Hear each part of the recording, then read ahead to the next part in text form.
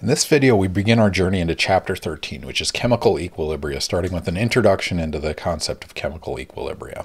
And so there's the learning outcomes slash expectations. Feel free to pause and take a look through those before we go on.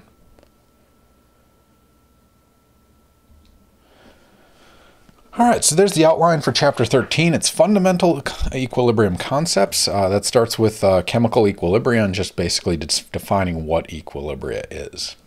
And so we've seen this reaction coordinate diagram many times. We have reaction progress down here, we have energy over here, we have A, we have B, and we have a, um, a one-step reaction, we have a transition state at the top.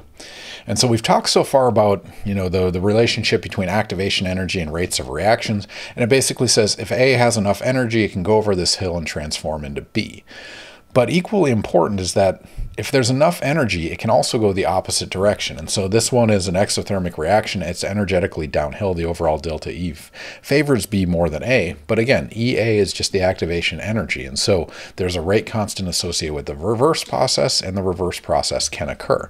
Note the activation energy is smaller for the forward than the reverse, but you can see still a fraction of these molecules can go the opposite direction. And so the reality is, with most reactions, you're going to go both ways over this hill. And so at some point, eh, even if you start out with all A or all B, at some point you're going to re reach a condition where the number of A's turning into B's equals the number of B's turning into A's. The rate of the forward and reverse reactions become equal. And so that's a, a circumstance which we call equilibrium. It's a chemical equilibrium where A transforms to B and B transforms into A. And so the formal definition of chemical equilibrium, a reversible process where the reaction rates in both directions are equal. So that system gives an appearance of having a static composition. And so um, just breaking this down further, it basically says the reaction is reversible. It can go one way, it can go the other way, which is always true, but not necessarily as favorable going both directions. Uh, the system is closed. If you have matter leaving the system, it can never reach this equilibrium condition. But if it is a closed system and the reaction is reversible, at some point the rate of forward and reverse reactions will become equal. And so on a, on a molecular level, chemical change is occurring. A is turning to B, B is turning to A. Molecular molecules are changing, but on average, the concentration of the reactants from products remain constant. And so the way we depict this chemically, everything we've shown to date when we have A and B, we've shown a unidirectional arrow where A transforms into B. But if the reaction is reversible, we do a double-sided arrow that looks something like this. There's a few different versions of it, but in general, it's a half arrow on top, half arrow on bottom, and that depicts that a chemical equilibrium or an A to B and a B to A reaction can happen simultaneously. And it's very important to note what equilibrium is not. And so uh, equilibrium does not mean the concentration of reactants and products are equal. In fact, that's rarely the case. It's going to favor reactants, it's going to favor products, depending on the driving force or the delta G, as we'll get into in chapter 16. And so rarely are the concentrations of reaction products equal.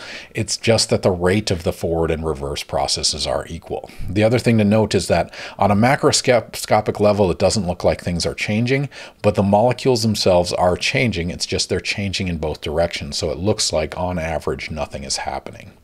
And so again, it gives the appearance of a static composition. And so macroscopically, if we look at the solution, the concentration of A stays the same, the concentration of B stays the same, but there's still dynamic processes. There's still A to beta reactions, there's B to A reactions, but the rate is equal, so it gives the appearance that nothing is actually changing. And so just give, give you a cartoonish depiction of that, we have a square in equilibrium with a circle, and they're transforming into each other. And it's convenient in this depiction, they're all changing at the same time, but that's not necessarily what's happening. But the, the take home message is where you start, where you end, and there is no end in this case. Anytime you measure it, when it's at equilibrium, you will have four squares and four circles on average. Now, there might be moments where this is six and this is, or this is five and this is three, but on average, you're going to have four of each of these species. And the reason is the rate of square turning to circle is equal to the rate of circle turning to square. And so they're always going back and forth, reaching that equilibrium condition. Because if all the squares turned into circles, then the rate of the reverse process circle going to square would increase and they'd eventually match out again. And so that's what reaching equilibrium is. And so that's squares and circles. You can see this reaction with a red sphere and two blue spheres joining together to give you this. Um, Not sure what this reaction is, but uh, you guys get the idea. Under steady state conditions, six reds, six of the, the double blues, and then three of the red and blues. And so you'll notice the concentration of product is not equal to the concentration reaction, but the concentration stays constant throughout the course of the reaction after it reaches equilibrium. And so uh, reds are turning into red blues, and, and blues are turning into blue reds, and it, it's the transformation is happening constantly, but on average, you're ending up with these numbers. And so what does this look like graphically? And so previously we talked about A to B reactions where we are converting all of A into B, and it basically there's no A left over as this reaction proceeds. And you can see A basically disappears, B forms in and gets the maximum concentration possible. Now, in an equilibrium uh, reaction that doesn't heavily favor reactants or products, you have both happening, right? And so the graph ends up looking something more like this. You start with only A, you're going to transform into B, A goes away, B grows in, but you'll notice A doesn't disappear and B doesn't take over the entirety of the concentration. And so neither of them are completely consumed during the reaction. They just reach a steady state condition where there's a certain equilibrium concentration and it's still turning A's into B's, but it's matching both directions. And so it looks like it's a steady state concentration and it is a steady state concentration, even though individual atoms and molecules are changing. And so that threshold, when you've reached this plateau, that's where you've reached equilibrium. And so anything before that is non-equilibrium. The system isn't happy. The rates of forward and reverse aren't matching. After that line, you are at an equilibrium condition. And so here's a real example, N2O4 in equilibrium with two NO2s. Um, so if you start out with pure NO2, eventually you're going to reach this point where NO2 plateaus and then N2O4 plateaus. Also starting with N2O4, that goes away, NO2 forms, but you also reach this plateau. And starting with a mixture of the two, if that mixture isn't at an equilibrium concentration, the rates of forward and reverse are going to keep changing until they match and make um, the same rate of forward and reverse. And so N2O4 increases, NO2 decreases. And so again, you can see with this line, that's where it's reached that equilibrium threshold. And so no matter where you start, if this reaction is bidirectional, if you give it enough time, eventually it's going to reach a condition where the rate of forward and the rate of reverse are the same. N2O4 turning into 2NO2 NO2, two NO2s combining to give you an N2O4. Eventually, it's going to reach that equilibrium condition. But something to note about these is the concentration ratios are not always the same. And so it depends on where you start. In this one, I mean, you can see in all of them, N2O4 is larger than NO2, um, but that it the, the proportionality is not always the same. Like here, there's uh, more than double the amount. Here you can see they're relatively similar. And so it does depend on where you're starting and what this uh, the stoichiometry of this equation is. And so we have this chemical equilibrium where if you give a system enough time, it's going to reach equilibrium eventually, but there are some exceptions to that rule. And one is if you don't have enough of a certain reactant or product, right? And so you can see this graph here. You're starting with a whole bunch of A, a little bit of B, and a little bit of C. If A reacts and, and B runs out, like there's none of it left, there's going to be a plateau, but it's artificial. It hasn't reached equilibrium. It's essentially A can't turn into C because there's not enough B to react with. And so if you don't have enough reactant or product, you're never going to reach equilibrium, right? In fact, if there's zero of B, this reaction can't happen. And whatever your starting concentration of A and C are, that's what it's going to stay as. Alternatively, if you don't give it enough time, and there's a lot of reactions that take a really, really long time. And so if you set up a reaction here and your 100th birthday is somewhere here, unless you live to be 300 years old, you will never see this system reach equilibrium. And so there's games you could play with like, you know, adding a catalyst and making it go faster, but sometimes equilibrium, it's very slow to get there. And so, yeah, you might not have enough time to see that system reach equilibrium. The other thing, and we mentioned it earlier, if it's not a closed system, it completely breaks this equilibria because you're essentially taking out reactants or products as the equilibrium is happening. And so it has to be a closed system. Otherwise, you're perturbing the concentrations just based on those molecules exiting the system. And so uh, there's reasons you intentionally do this, and we'll talk about it in Le Chatelier's principle, but it's, it's, it's perturbing the equilibrium and not letting them reach that equilibrium state. And so again, equilibrium does not mean the concentrations are equal. It just means the rate of forward and rate of reverse reaction are equal. And so what's important about this is we've already talked about rates of reactions, right? We have a rate law where the rate of A going to B is the rate constant of A times the concentration of A, assuming this is a single step. The rate of B going to A is equal to the rate constant of B times the concentration of B. And so we have rates associated with going each direction over this hill. And so at equilibrium, we know that the rate of forward equals rate of reverse. And so rate of A to B equals rate of B to A. And so we can substitute this in, and we can take the other side of our rate law and we can put it on this side, put the other rate law on this side, and we can rearrange this around. And so all of a sudden what we've done is we've created a ratio of equilibrium or our um, reaction rate constants and concentrations. And so because each one of these is a constant at a given temperature, we can combine those and generate a new constant. And so in this case, we're going to take these lowercase k's of the uh, forward reaction and the reverse reaction, and we're going to make them a uppercase k. And so in this case, we are talking about the equilibrium constant. And so these are rate constants for the rate of forward and the rate of reverse. That's for the rate of a unidirectional reaction. K is combining those together and giving you an equilibrium constant. It's a ratio between K forward and K reverse and a ratio of products to reactants. And so this equilibrium constant equation, uh, it, it, holds true for all reactions. And so for any general reaction, A plus B giving you C plus D, you're going to draw the equilibrium constant equation like this.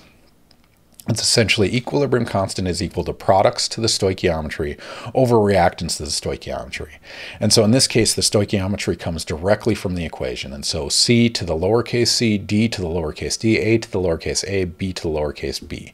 And so this side on top, uh, here the A and B are on the denominator. And this is sometimes known as the law of mass action. And so it basically says your equilibrium constant is a proportionality between the products to the stoichiometry and the reactants to the stoichiometry. And so uh, one thing to note about this is that this this tells you the ratio of products when you reach equilibrium. And so again, you're taking a rate constant of forward, rate constant of reverse. That ratio gives you this capital K, and that capital K tells you the ratio between these products. Um, one thing to note is, uh, and some people are very meticulous about the units you put on things, uh, equilibrium constant K is weird because generally we don't include equilibrium constants. And so it doesn't matter how many molarities per liter you have on top or bottom. K we typically report just as a number. And so going back to that example we had earlier, N2O4 going to 2NO2, we saw that it ended in several different places. And so we had this equilibrium equation where it's products over reactants. So the question is, why are we ending at different points? And so we can look at this reaction and say, okay, if I start out with zero NO2 and end up and start with a bunch of N2O4, um, which is essentially this reaction right here, or I can start with a mixture of the two, which is essentially this reaction here. You can see both of them change their initial concentrations. They, the ratio between them changes, and you can reach this equilibrium concentration here. And you'll notice that this equilibrium concentration is not the same, right? Just like we saw in this graph, uh, depending on where you start, it changes where you end. And so the thing about this is the ending point is dictated by this equation that we saw earlier. And so the equilibrium constant is equal to NO2 to the 2 over N2O4. And so the reason they don't all end in the same place is this exponent right here. It essentially says it's not just the proportionality of N2O4 to NO2, it's NO2 squared over N2O4. And so if we plug our concentrations into this at equilibrium, so these numbers right here into this equation, we find that we always get the same value and that's because it has reached an equilibrium condition. And so the, the equilibrium constant for this reaction is 4.6 times 10 to the minus 3. And so regardless of where you start, this ratio will always hold true at that equilibrium point. So after you've reached equilibria, this proportionality will always be true, and the value of that proportionality will be 4.6 times 10 to the minus 3. And so again, no matter where you start at a given equilibrium, and assuming there's no extenuating circumstance that prevents it from reaching equilibrium, you will always end up with a ratio equal to 4.6 times 10 to the minus 3 for this equilibrium here. And so yeah, K lends a lot of insights into this this ratio of reaction reactants to product. And so if you think about this K number, right, it, it's it's it's it's telling you directly the uh, or, or uh, proportionally what the ratio between products and reactants is. And so if K is very large, it means the numerator is large and the denominator is small. If that's the case, it tells us we have a whole lot of products and not a whole lot of reactants. It also tells us that the K forward is fast or the rate constant for the forward reaction is bigger than the rate constant for the reverse reaction. And so sometimes this is depicted in an equilibrium arrow where you say this is favoring products, so we want to draw a bigger arrow this way, and it favors reactants less, so a smaller arrow. Likewise, if k is very, very small, where this number is small, this number is large, it favors reactants a lot. You see a lot more reactants than products. k, the forward rate constant, is less than the reverse rate constant. And so it heavily favors the reactant side of this. And so just seeing the number K, if it's one, they're proportional. The concentration of uh, reactants and products is the same. If it's greater than one, it favors products. If it's less than one, it favors reactants. The bigger the difference from that K equals one, the more it favors products. So it's 10,000, it favors it more than say a K of 100. And so that number directly tells you about how much it favors products versus reactants. Again, the larger the K, the more it favors products. The smaller the K, the more it favors reactants. And so it tells us which way it's racing on that hill. Which way does it favor more, left or right? It's It has the same rate when it reaches equilibrium, but it's favoring generating more of the products or the reactants. All right, so that closes out our introduction to equilibria. Again, we have reactions that can go both directions. Uh, at some point, the forward and the reverse rate are equal, and that's going to be dictated by the rate constant and the concentration.